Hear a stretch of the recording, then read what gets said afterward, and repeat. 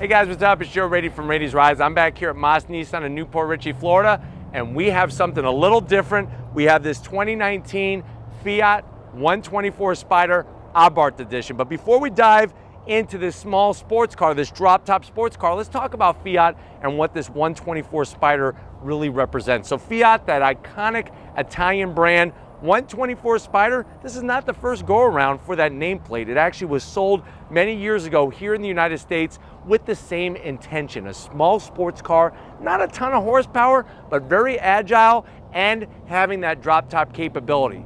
Fast forward to the 21st century, this 124 Spider sits on the same chassis as the Mazda Miata. It's even finally assembled, like the final assembly point is Hiroshima, Japan, alongside the Miata. What you're gonna find though when you go the 124 Spider route is you're gonna get that iconic Italian style and you're actually getting turbocharged power.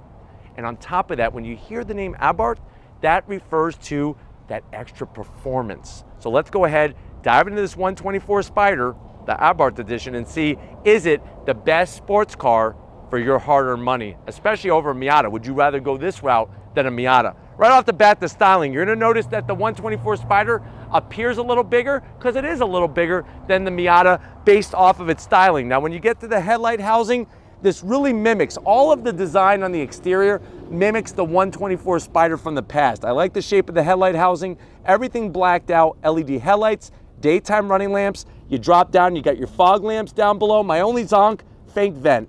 If this is a performance edition, we should have some functionality here, so that's definitely a zonk. As we come across the grill, looks spot on, just like the 124 Spider of the past. Full functionality up top, down below. I like the flat black splitter, the way it integrates nicely into the front fascia. And then of course you have that iconic badge, the Abarth badge. And if you're wondering what's the connection between Fiat and that scorpion badge there from the Abarth family, the Abarth family actually took the small Fiat 500s and would rally race them and they would add extra performance. Well, guess what? That badge is now on this Fiat and you do get extra performance. As we get up onto the hood, classic design here. You have these U-shaped, long U-shaped indentations. Look at a picture of a 124 Spider, looks identical. The one from the past looks identical to this one. Now, as we come around the bend, I am gonna zonk this. It looks cool, but it's fake. They should have made that a side air curtain with that other fake vent up front.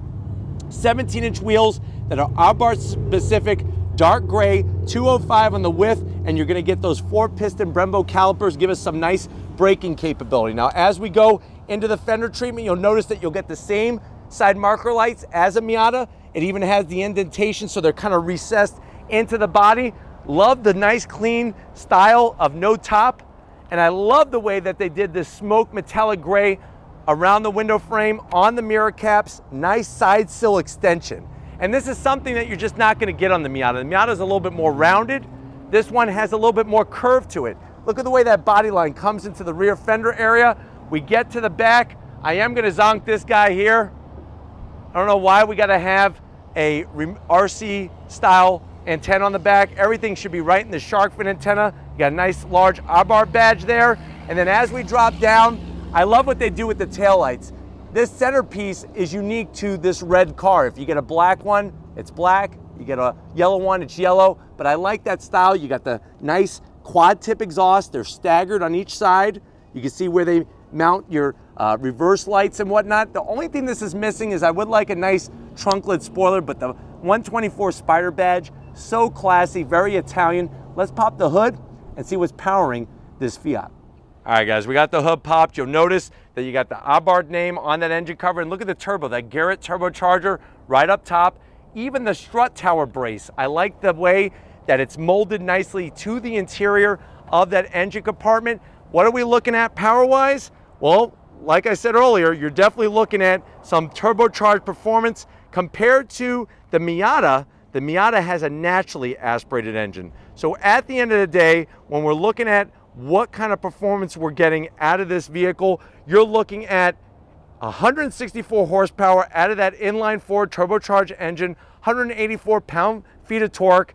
You could have a six-speed manual or a six-speed automatic the car weighs 2,509 pounds, 0 to 60 in about 6.7 seconds, 0 to 118.8 seconds, quarter mile, 15.1 at 91 miles an hour, and it's got a drag limited 136 miles per hour. The big shining point is that 26 MPGs in the city and 35 on the highway really makes this such a great performer and so light and nimble, which is really wonderful. Now, what's interesting is that you are going to have the older style transmission, especially if you go with the manual. It's actually the older style transmission, 1.4 liters with that turbocharged engine. It's interesting. You would think there would be more horsepower, but I don't know. I think with the way that the Miata is set up with that naturally aspirated engine, seems a little bit more pleasing. But why don't we fire this up and hear what it sounds like?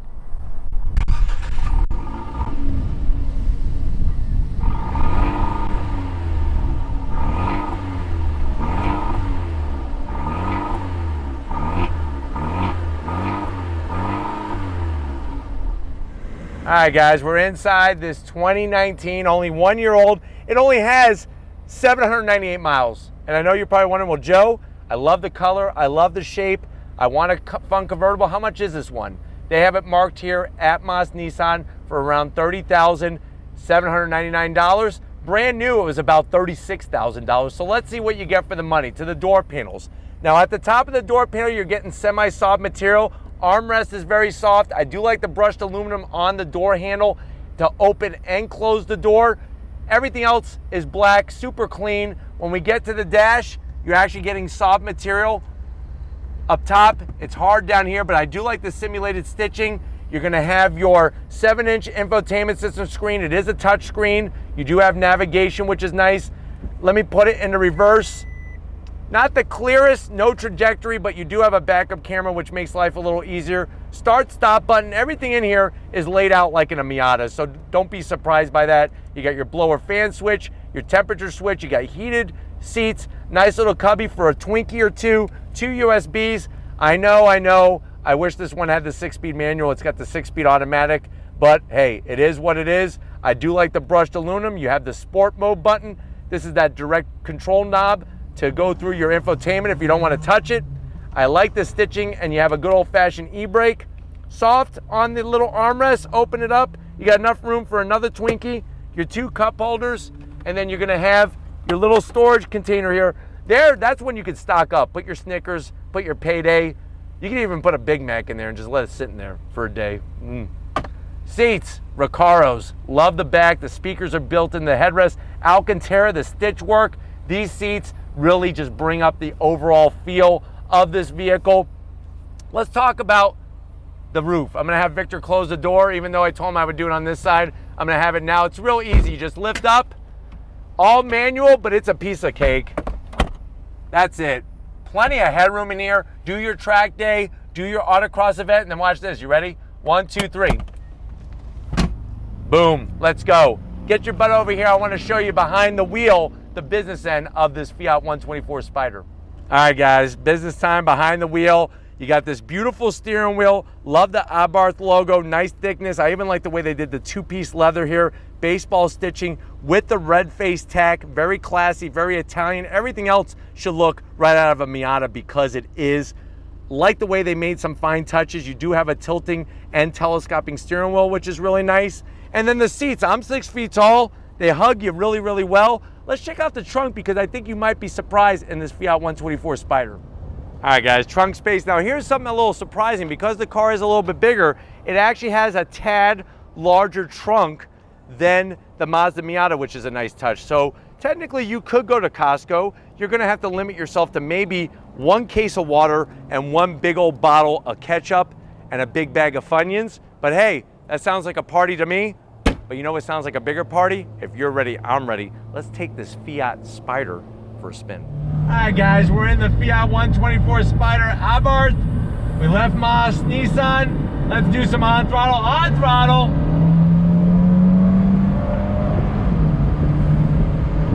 On the brakes.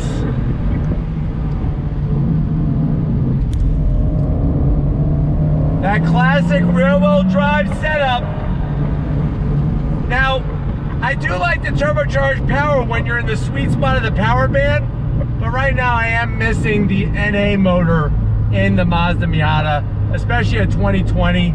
That two liter just pulls so strong all the way up top. It's got that induction growl, which this doesn't have. This does have a good sound though coming out of the exhaust. On throttle. Brakes feel good, those Brembos like the turn in. I'm using the paddles to shift.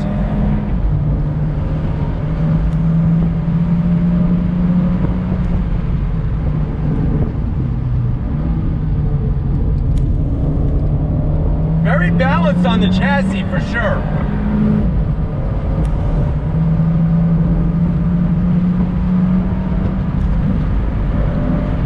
Not too bad over the bumps. I'm not getting a lot of wind buffeting in here, which is great. Back end comes out a little bit. It's a fun car to drive, for sure.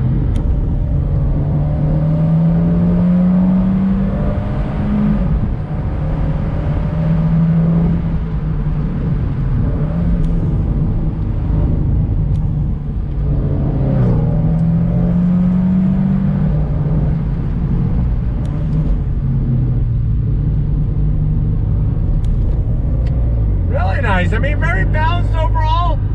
Visibility out the front is great.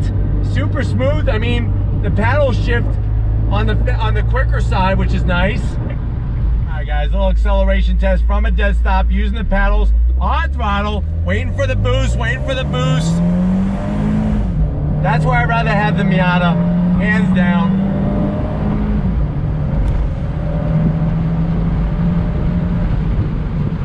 The shifts are very smooth though.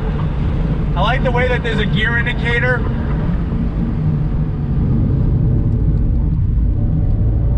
Turning is nice, crisp.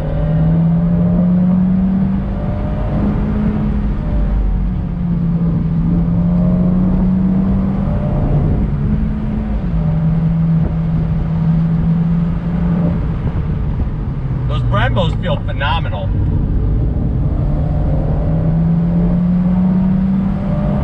Feedback from the front is great. The back of the car stays nice and planted. A little bit so you can square off the corner.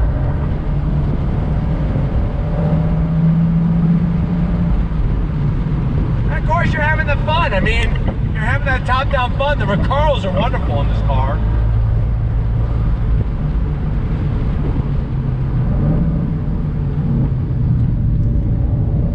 This car would be in line with the Miata Club that I've done before, especially with the Recaro option and everything.